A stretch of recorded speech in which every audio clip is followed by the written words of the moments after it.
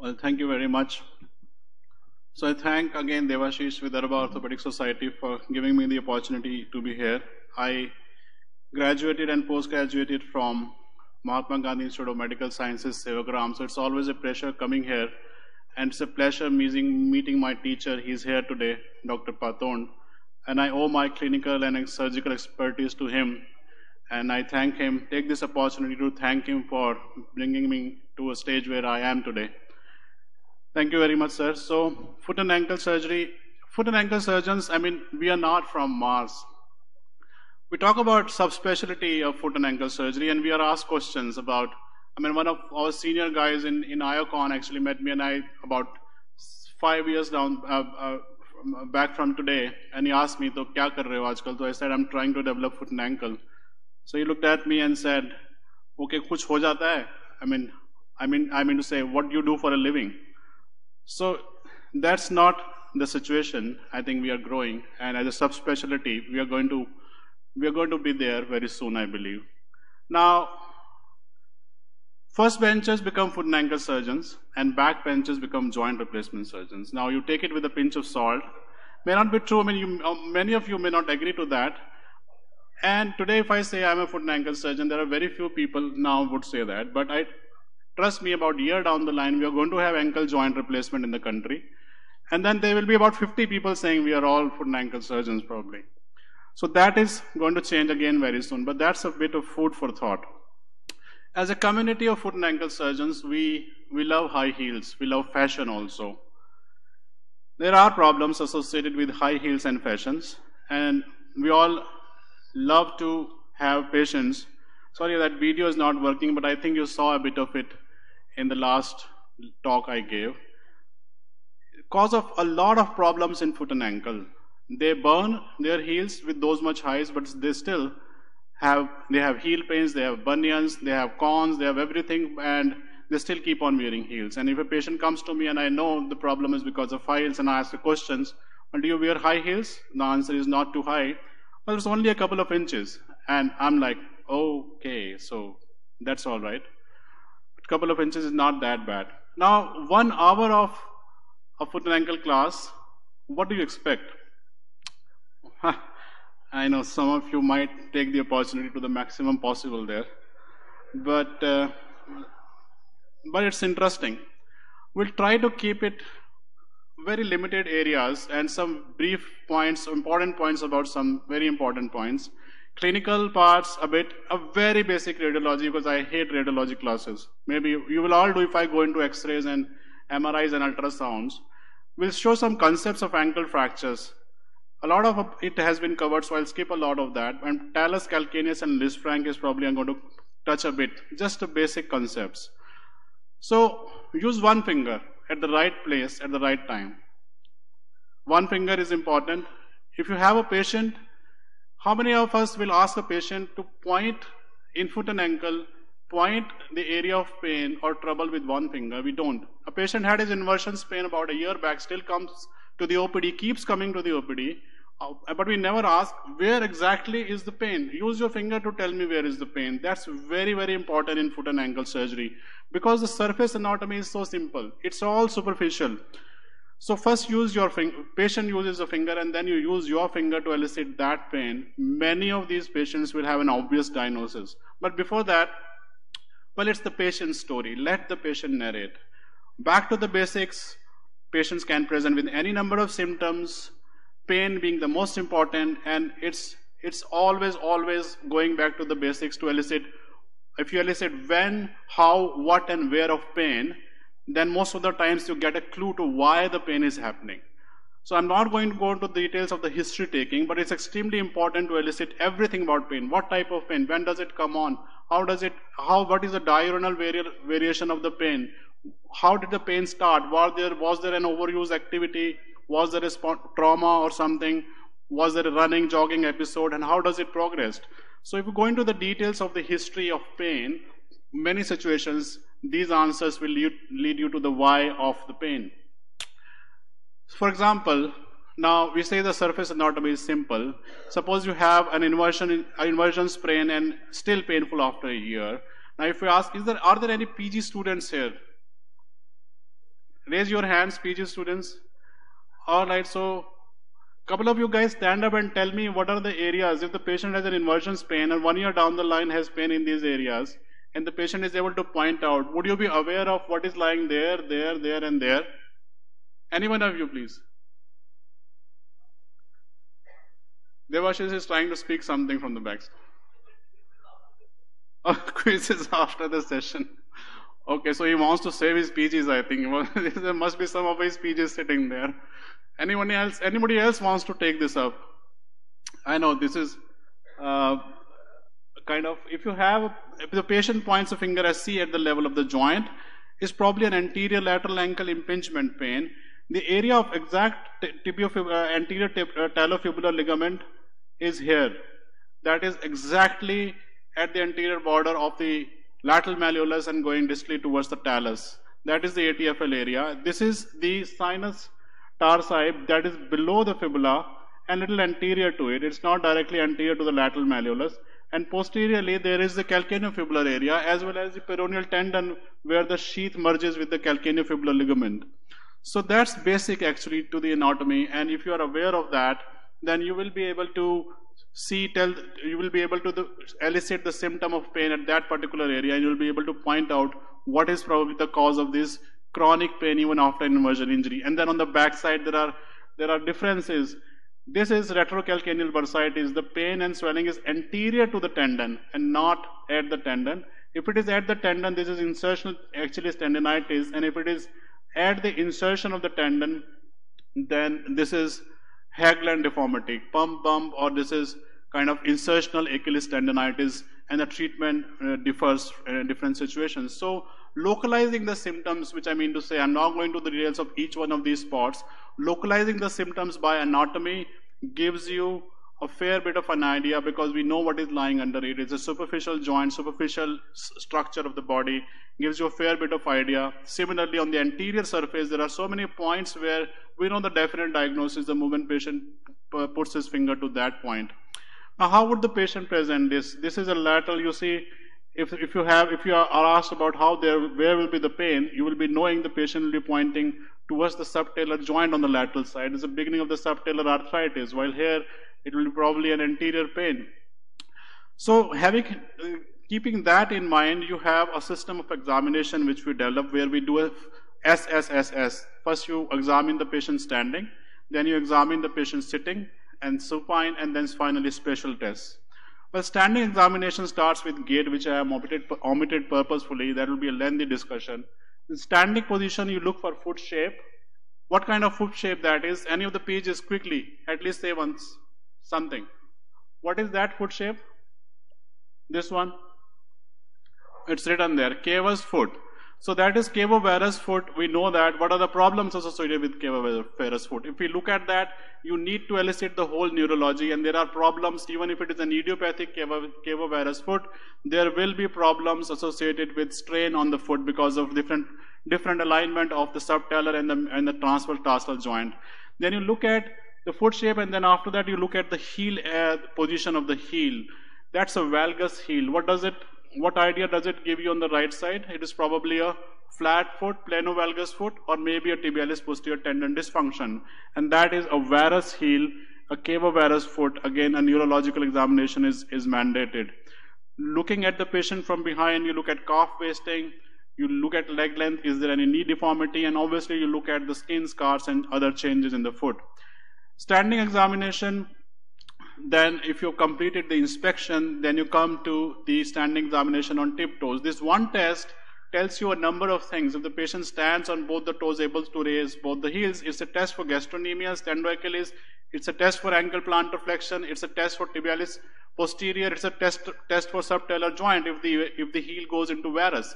So with one single test, you are testing all of these structures and if the patient is able to do that, grossly everything is in order. But then when you go on to a single stance, it may become different. So what would be the normal heel posture when the patient goes on a toe raise? What will be a normal heel posture? It will be in, it will be in varus, obviously because of the uh, because of the foot biomechanics. And if does if it if the does not go into varus, if the heel remains into valgus, then what would be the, what, what are the causes of that? Anybody? Girish?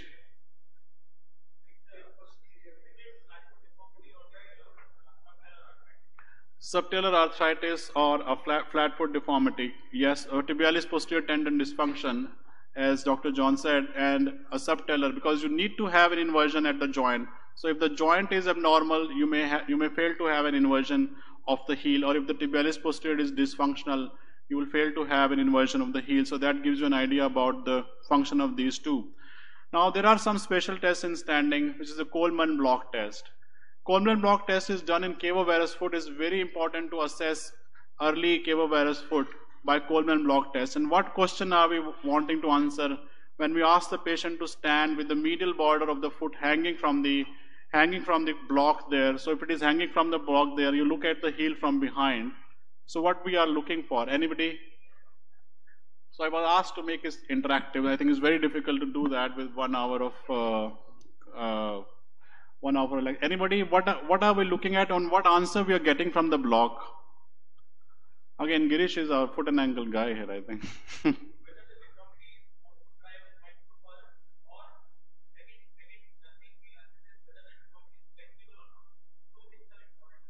So what do we look for? Can you have a mic please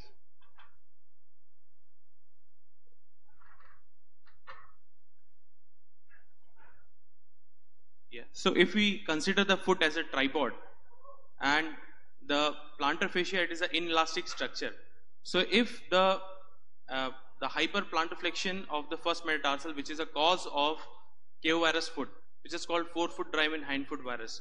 So when the patient wants to stand on the neutral foot, because of the hyperplantarflexion of the first metatarsal, it drives all to make it plantigrade. It make the hind foot in the varus to make the foot stable.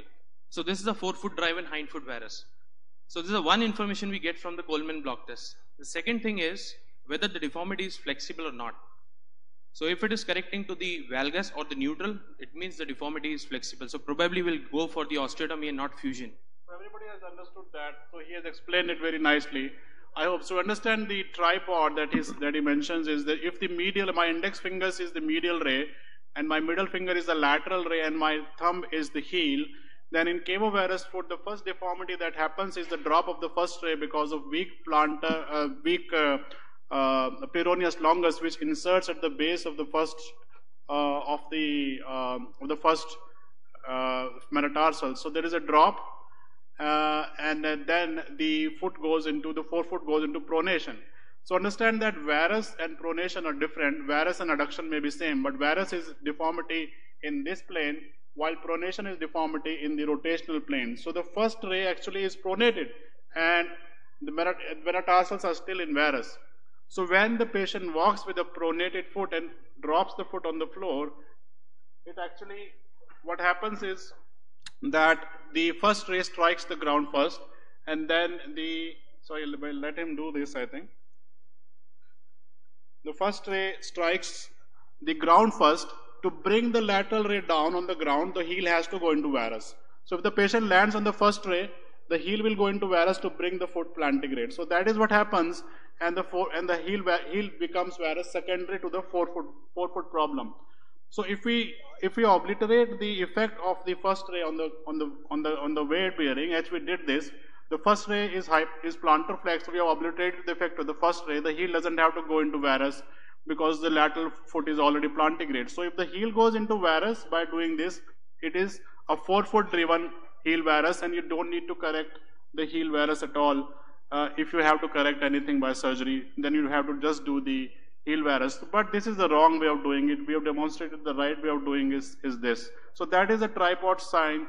And every time you look at foot deformities, think about hindfoot and forefoot as a tripod and every time there is a deformity there may be an opposite deformity in the hindfoot and forefoot just because the heel the hindfoot has to overwork sometimes to get the foot plantigrade if there is a forefoot deformity. So that's very important to understand in foot and ankle biomechanics. Next is the examination. The couch you have to sit in front of the patient make the patient comfortable. And we know the Silfverskiöld test. We all should know about it. It differentiate, differentiates between the tightness of the tendo Achilles being due to gastrocnemius or combined gastrosoleus problems. So we must be able to elicit that. And in uh, flat feet, most of them are tight, have tight TAs, but the way to elicit tightness in them is to invert and lock the subtalar joint. So if you just examine the tightness of the TA in flat foot by dorsiflexing the ankle, the heel will go into eversion and the foot will go into hyperdorsiflexion. But that's not the true test of tightness. Invert the subtalar joint and then see. You'll be surprised they are hardly able to bring. You will be hardly able to bring it even to the neutral position in most of the flat feet patients. So that's important again. And then when we sit, we look at the sole and sitting examination of three parts. Always look, feel, and move. We start proximally or distally at one joint and go on systematically from ankle, subtalar, midfoot, and then the forefoot. And every joint we do look, feel, and move. So what are we looking for and what we are feeling for depends on a number of things. Again, the pathologies may be complex, and there are special tests they are done sitting. There are some impingement tests for the anterior and lateral impingement. There are some tests for the posterior impingement when you forcibly plantar flex the ankle, posterior pain. When you try to resist, do a resistive plantar flexion of the great toe there, FHL, again a posterior impingement. And then an ankle instability test. We all know as you have a Lachman test in the knee, there is an anterior drawer and a varus uh, inversion stress test which is positive in cases of ankle instability. So we fail to do many of these tests in routine patients who come time and again with problems of pain and sense of giving way. If you elicit, many of them will demonstrate a mechanical instability of that kind, but that is not always present and it still may be an instability. So that's important to elicit. There are some special tests of tendon, peroneal tendons, that's a dislocated peroneal tendons. Then again, some Achilles issues, we should be able to elicit many times 20% of the Achilles ruptures are missed. But there are very simple tests. There's a calf squeeze test. We all know about that. So, and that is how a patient of TA rupture will walk. On the right side, there is no push off at all.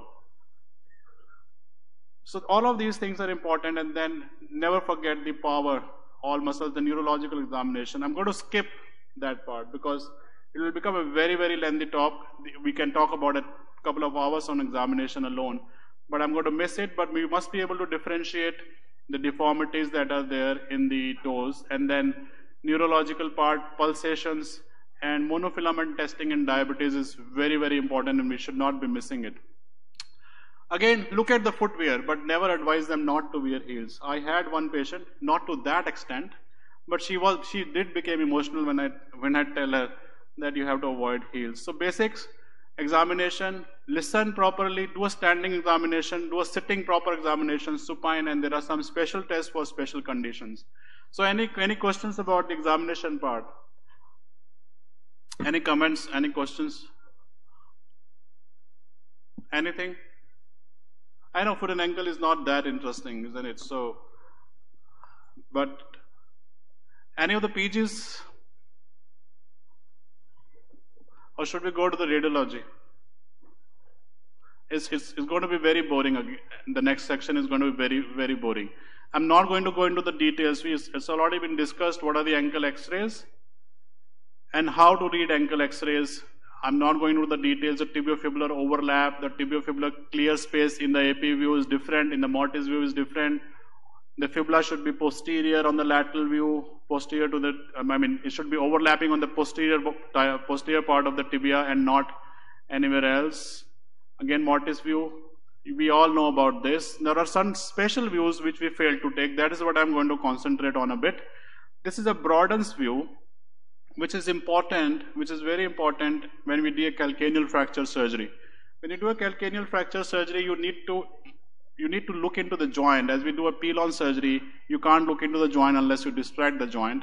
If you do a calcaneal fracture surgery and you are reconstructed the subtalar joint, you will not be able to look into the fracture surface. So you depend on the C-arm or you do a dry arthroscopy. If you depend on the C-arm, this is the X-ray which helps you and shows you all aspects of the of the subtalar joint. So 10 degrees will look like this, 20 like this, and 40 degrees will like this. And if you've done a fusion, this is again a good view to look at the subtalar joint fusion, whether it is happening or not. A Harris axial view for the alignment of the hind foot to the leg, as well as in calcaneal fractures for varus or valgus placement of the tuberosity. talus fractures, extremely important in the operation theater to visualize. If, if not able to do it, obviously, before the surgery, but at least in the, in the operation theater, we must be able to do the Canale view to look at the whole uh, of the of the talus neck, uh, which will look like this in profile. So that's very important. We must do, this is about trauma part. If you do a cold surgery foot and ankle x-ray, it is very important to do a weight bearing x-ray. Extremely important. Whenever I write a foot and ankle x-ray is always, always, always. It's a weight bearing x-ray in cold patients because the information that you get is entirely different. And there are ways to take weight bearing x-rays. There can be special cassettes. The patients can stand on the cassettes. And there can be a difference of earth and sky there. A normal non-weight bearing x-ray and a weight bearing x-ray demonstrating a Lisfranc problem. So that's the only thing I'm going to cover about x-rays and radiology because I hate because it will become extremely boring if I go on, on about more specialized x-rays for, for cold foot and ankle problems. So we are going to go to some basic trauma concepts about ankle fractures. Yes, Devashish. So for AP, it's very simple. So AP is very simple. You have the patient stand on the X-ray cassette, or you have on the table and there is a cassette under it. On that, and then you do a straight uh, anterior posterior shooting down.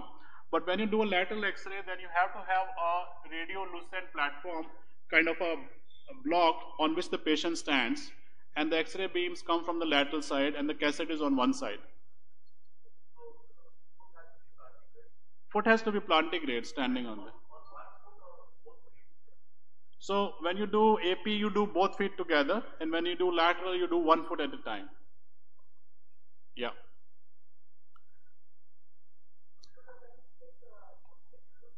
Can we have a mic, please?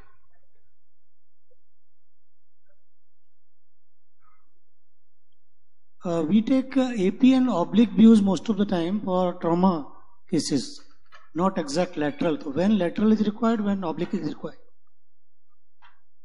Well, in all trauma cases, you take an anterior posterior, you take a lateral, and you take an oblique view.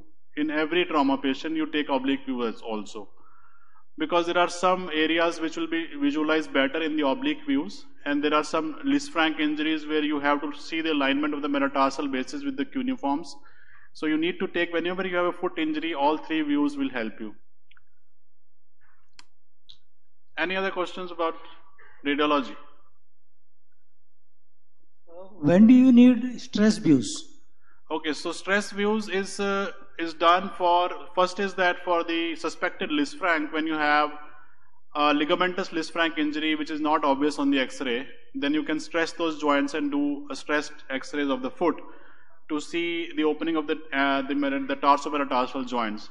In chronic ligamentous injuries, when you have mechanical instabilities, you have an anterior drawer x-ray where you take a lateral view drawing the ankle anteriorly and you have a varus stressed view where you do an AP of the ankle taking the ankle into varus and you look for talar tilting in the AP view in varus stressed and in the anterior drawer you for, look for anterior translation of the talus on the tibia.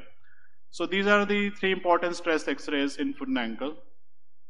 Any anything else, or should we go to the basics of some of the fractures, specific fractures? So when we have choices about treatment, and we we should be no we should be following them uh, as far as to our best of knowledge and ability. But you have many choices, and when you don't want to, you know, you don't know how to use those choices, then you may end up in misery again, you know, but you may be having one choice, then what do you do with that? So you may have different difficult problems in life, but you know, sometimes you have to just live with them. If I am in that situation, then I say that okay, beer is a proof that God loves us and wants us to be happy. So you hit a beer bar and enjoy your life. But then obviously you there are situations where you need to know your concepts very clearly and follow the the dictum and the advice so you don't end up with, with problems. I'm going to skip uh, posterior malleolus syndesmosis. Have been covered extensively in, in the previous session, maybe a bit about diabetics, but concepts of stability. concepts of stability. Let's look at this fracture treated by me about about 10 years back. So, anybody wants to take this up? Anybody wants to take? I don't have a CT because we didn't do a CT 10 years ago. But this is the fracture. There is a comminuted fibula. There is a medial malleolus small. There is a posterior malleolus small. How would you proceed? This is a lady. This is a lady non-diabetic. She was 58 years old at that time. Anybody? Again. Oh, Girish again. I think he's the only guy who's interested in foot and ankle surgery out of you all. So again, like any ankle t- uh, fracture, we need to see the soft tissue status. Yeah. So Uh, soft tissues are okay. So how would you how would you fix this? Yeah. So again, the uh, I will start the surgery with getting the fibula length back. Yeah. Uh, probably will uh, go for the posterolateral incision, uh, getting the length of fibula, uh, fixing with the K wire or with the plate one screw above and last down. After that, I will go from from the same incision to fix the posterior malleus. Uh, so, do we have a CT images? We don't have the We CT. We, we didn't do a CT. This was 10 years ago. Yeah. So, So- posterior malleolus, posterior malleolus, uh, would you would you fix the fibula because the fibula obviously appears to be a bit comminuted here at that area. So, So, would you fix the posterior malleolus first or the fibula first? We had discussed this. so which is question a. Whatever looks simple, I will go for the fixation that because it is ultimately getting the advantage of ligamentotaxis. So if you're getting the uh, uh, posterior malleolus fixed, you're getting the uh, reduction of the fibula easy. If you're getting the uh, reduction, Sir, sir, the vice please. versa. Okay. Yes, sir. Long time back, you said there was no CT that time. Yes, sir. Every case, we used to take a traction view. Yes, sir. And traction view would tell us what is the status of soft tissues and fall backs. I still believe that the soft tissues also are a very important aspect of vascularization. And that tells you a lot of things. So such case, olden times are now also. Before CT, I would take a traction. Okay. So, Traction will give me a lot of information. okay. So that's And, uh, that's an opinion attraction. Yes, sir. Please. Give me give me a track So, of time, uh, Devashish. Give me If you- track of time If you consider the ankle joint as a ring, as a ring. so the medial malleolus, the posterior malleolus, and lateral malleolus are part of a ring, Yes. and uh, some uh, anterior, medial. That's the medial one. Yeah, there is a medial fracture. So some part of this ring is uh, fracturing or getting injured in uh, compression, and some of it is injured in uh, in tension. tension. Now looking at this, I, I think if the fibula is comminuted, it's most likely that the medial malleolus and the posterior malleolus are not comminuted. Usually, that has been my experience. Uh, I would like you to tell you uh, Okay. on that. So I would perhaps uh, differ a little bit from uh, Dr. Okay. Motwani, and I would probably go and fix the uh, the posterior malleolus first with the posterior lateral incision because Okay. that's going to be easier to fix. That will help me get my fibular length back and put the fibula in place and uh, posterior plating on the fibula. Okay. And then perhaps uh, you could, if it's as it's in the prone position, you could just flex the knee and uh, continue your fixation without twisting the patient over and fix for the in medial, uh, medial for the medial. So, so I absolutely agree with that approach, and that's what probably Girish also mentioned. So when you have this kind of injury and you want to fix all three rig, all three parts, then you look at the less comminuted part. And here, if the fibula is more comminuted, then probably posterior malleolus is not that comminuted. So you go in and fix it. But that was 10 years ago. So, so this is what we did. What I did actually, we we didn't fix the posterior malleolus. So this was two weeks after the surgery, and we didn't leave it that way in the operation theater. We obviously did a stress test also. We did it, but then it was it was not moving. But this was two weeks. Appeared that it was already going into valgus, and this was this was some kind of a VIP patient, and one of my first surgeries in a corporate hospital there. And at three weeks, it is obviously moving out more. So we already know what has gone wrong. We have discussed uh, what should have been done already. So there is a wide syndesmosis there now. It was not, it was stressed somehow. We, probably my force was not enough. It did not move a lot. But here at three weeks, there is a wide gap in the syndesmosis. There was a comminuted fibular fracture. Probably the fibula is in, is in shortening, a bit shortening. The medial malleolus fracture is not fixed properly, probably the K-wires are not there, and that is the whole construct is moving. So something has gone wrong, we missed something. There is a combination at the syndesmosis also, retrospectively looking. So another important point, if you have a comminuted fibular fracture at the level of the syndesmosis, it adds to the instability. It's not only the posterior malleolus. So even if I had fixed the posterior malleolus, probably this syndesmosis would have remained unstable because the anterior anterior uh, syndesmotic ligament, the anterior inferior tibiofibular ligament is also avulsed with the Chaput tuber, tuber, uh, tubercle and the interosseous ligament is also gone because they are all not functional because of comminution at that level. So that is adding to the syndesmosis and is there only a medial malleolus fracture? Question. Are we sure that this was small medial malleolus fracture only? Anybody? When you have a small medial malleolus injury, a very small fragment which is infra, which is kind of a collicular avulsion, it is below the axilla of the joint, then what should we look for? Girish? What should we look for? So, so deltoid because deltoid is posteriorly and the injury may have continued, but we missed everything there. We missed everything there the same way as you feel after missing this goal. And then what do you do? How would you treat this patient now? That is what we did. We removed the medial hardware and we replaced these screws with syndesmotic screws, closed the joint. We forgot about this bit of shortening that we created probably. The patient was osteoporotic even in that age and I was not sure if I remove the plate and try to lengthen the fibula, I'll get purchase in a different kind of, this was the only fragment available and different screws, it was already a locking plate. So I just did this and this united but obviously with bit of a bit of a shortening of the fibula. And about 12 months she already has some arthritis but did well. I mean there was not much pain there. So we missed a deltoid injury. When you have a small medial malleolus fragment well always always there is most of the situations there is a complete deltoid rupture. So this is a very unstable situation. We missed a syndesmotic injury and we also missed a so the concepts of stability are very important in ankle. That's what i mean to say. All it's we mentioned it about this being a ring. So think about it as a as a as a mint and the pelvis. So this is a ring again and every part of the ring is not bony. When you have a break at one place it's fairly stable situation. Nothing much is going to happen. It might be undisplaced.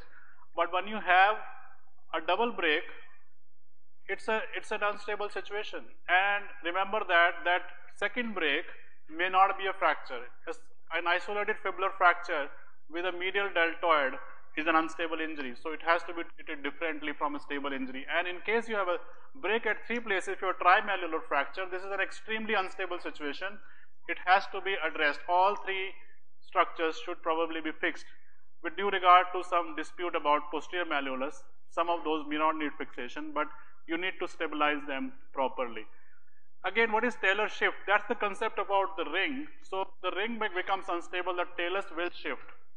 If the talus shifts, it's a, it's a problematic situation. We all know why, the joint surface contact area leading to arthritis and all that. But whenever there is a talus shift, there is a medial injury. About a couple of millimeters is described in literature, intact deep deltoid can allow up to 2 millimeters of gap on the medial side but anything beyond that is probably a more more than more than uh, other injuries which you are which you are looking at in the x-ray so we all know that this is an unstable situation. But what about this one? This is what we are talking about. It's a it's a it's a single break or it is a double break. There is no fracture on the medial side but it is a double break. Because if you see sequential x-rays of this patient there is a medial deltoid injury. So this is an unstable situation and this is supination external rotation type 4 injury and it needs to be fixed by surgery, not looking at the first x-ray which was showing an undisplaced fibular fracture. So isolated fibular fractures, the concept is always test for stability on the medial side by doing stress x-rays. And these stress x-rays may be a gravity stress x-ray like this or a dorsiflexion external rotation stress x-ray like that. Again, a small medial malleolar fracture which is anterior collicular avulsion, the injury has continued posteriorly in majority of situation and created a deep deltoid rupture. So a medial malleolus look for a deep deltoid. In many situations, deep, this deep deltoid will enter into the joint and will prevent medial closure. The medial clear space will still become wide even after you have look, fixed everything nicely. So you need to go in medially and remove that deltoid infolding to get the medial reduction. So that is the key point these about the stability. So remember that the double break is potentially unstable and it may not always be bony on all sides. Talar shifts means there is a significant medial injury and the dictum is when you have fixed everything in the surgery, stress the joint even if you have fixed all three columns because there can be situations when you have fixed all three sides there still can be an instability of syndesmosis. If you have a comminuted fibular fracture and very rarely you have a posterior malleolus with interosseous ligament injuries which have been described but uncommon. So that's it. So what about ankle adequate radiology? We'll quickly skip through this because we all know what this is. This is a highly unstable injury. You can't treat looking at this x-ray. This prompts you to do casting but look at the fibula higher up and then we know that this is an extremely unstable situation. This is it will require syndesmotic fixation. There are some videos there, but not that important. I think we know what, what should be done here. What is the role of CT in ankle fractures? Can we read this x-ray? This x-ray was sent to me in the middle of night and he said I'm sending this patient in a slab. I said I don't I can't identify the fracture. What is I can't identify what kind of fracture it is. I can see there is a fracture, but I don't know what is happening. On the lateral view, I don't know what is happening. Looks like there is there is a medial malleolus, probably some fracture there. How would you do? What would you do? I asked my resident to do a CT on that, and that is what it was. Look at the coronal and look at the sagittal cuts. So this is obviously should have been investigated. We did investigate it and looking at the CT, we now know that this kind of injury and this requires a posterior medial plate for various reasons. Again, uh, it will be too lengthy if we go into the detailed discussions. We did a posterior medial plating through the posterior medial approach. That was a fracture. That's the medial malleolus there. And this is the tibialis posterior tendon. Provisional reduction with wires and a posterior medial plate was used. So CT scan in ankle fractures is required in any fracture dislocation. If there is a significant posterior malleolus fracture, supination, adduction injuries because there may be a medial impaction injury and then when the fracture pattern is unclear. In all of these situations, you need to do a CT scan. So about the posterior malleolus, let's skip this because we have covered it in the in the talk there very nicely. the classifications and there are some suggestions. It's not the size. The decision to fix is based on this classification now and we know all four all type 4 will need surgery type 2 and type 3 type 3 mostly need surgery type 2 it's it's not the size again because type 2 is only about it is documented is only about 50 14 percent of the surface area in most cases not 25 as we said but it involves the fibular notch and it is an intercalary fragment or any type of posterior subluxation these are the indications for um, for for surgery on the posterior malleolus not not the size. So again, posterior malleolus, posterior lateral approach, fixation of the posterior malleolus, we do that more frequently now. So we know about the posterior malleolus. And that's a video we have about the posterior, posterior lateral approach. This is the sural nerve, all important, which you need to protect in the in this. In, incision is midway between the fibula and the tendoachilles and you're protecting the sural nerve as you go inside and you incise the deep fascia you'll directly on the posterior compartment you will see the peroneal tendons on the lateral side. That's a, when you incise the deep fascia there FHL will come into focus. Peroneal are taken laterally FHL taken on the medial side and that's the fracture there. Very simple straightforward approach. And using the metaphyseal spikes as your guide you reduce this fracture and put a buttress plate on the posterior side for the posterior malleolus. And through the same incision you can fix the fix the fibular fracture. So that is pushing the posterior malleolus down and back using the metaphyseal spikes as your guide, fixing provisionally with a with a K wire and then putting an under contoured, slightly under contoured buttress plate to support on the posterior side. Now that is how it was fixed. And then about syndesmosis, again, we are going to skip uh, the thing because it has been covered very nicely in the in the last session itself. But the only thing I want to show is the open reduction of the syndesmosis there. So here is a situation of a comminuted fibular fracture and you know there is a syndesmotic injury there and there is a very small chip of the posterior malleolus which may be difficult to fix. So we go in, we do a lateral incision straight on the fibula and we go full thickness, take the incision anteriorly and open the syndesmosis through the same incision. Now I have opened the fibular fracture but we are not fixing the fracture. So once you look at the syndesmosis you will be seeing a gap there, a wide gap there and a small fragment which usually is associated which is an avulsion of the, the Chaput ligament there, the anterior tibiofibular, inferior tibiofibular ligament and once you have aligned the syndesmosis properly under vision by palpation and by vision and you have clamped it into right position, you will see the proximal comminuted fibular fibula fracture will fall in its place. The length is not a problem anymore because you have reduced the distal fragment out to length.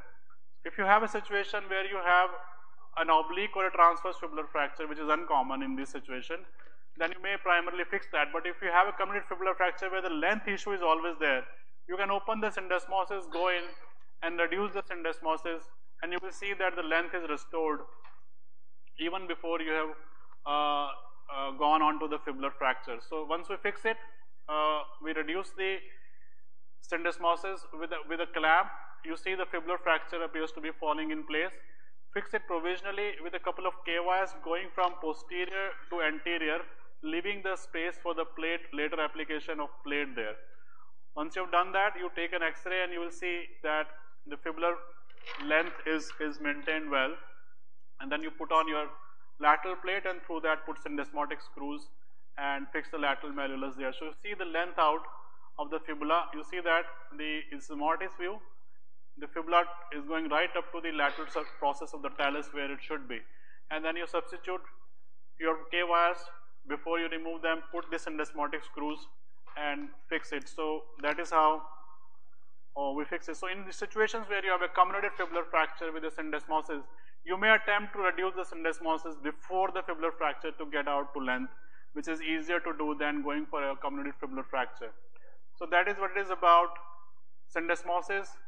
About diabetics, now that's a, that's a, Rajiv was uh, we were discussing and, and he was saying that so many complications that we see in diabetics. What we have to remember is that we have to be more aggressive in un, in complicated diabetics in fixation. In complicated diabetics, you do a pro tibia fixation. If you have failures like this, you will have failures like this because this is not an adequate fixation for a diabetic you have to fix like this in a complicated diabetes. This is called protibial fixation and unless we do that, many of these patients will fail and the rate of amputation in complicated diabetics with ankle fractures is about 8%. Complicated diabetes would mean uncontrolled diabetes with with neuropathy, retinopathy, nephropathy, these patients, these are the candidates for this kind of fixation. Obviously, a non-complicated, completely controlled diabetic, it is treated as a non-diabetic. We are talking about a complicated diabetes where a pro-tibial fixation is required. So anything we want to discuss about ankle fractures? Devashish, we run out of time? Still have 10 minutes, okay. I've gone on and on like that, I think. Girish, yes sir, please. Can we have mic, please? Mic, mic.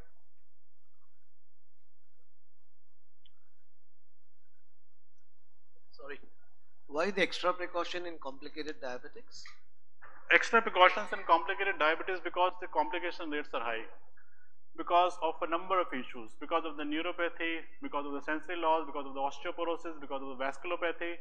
Everything is bad for healing. Everything tissue is bad you're, you're, talking about the tissue healing or the bone healing? Both sir. Both are problematic. Okay.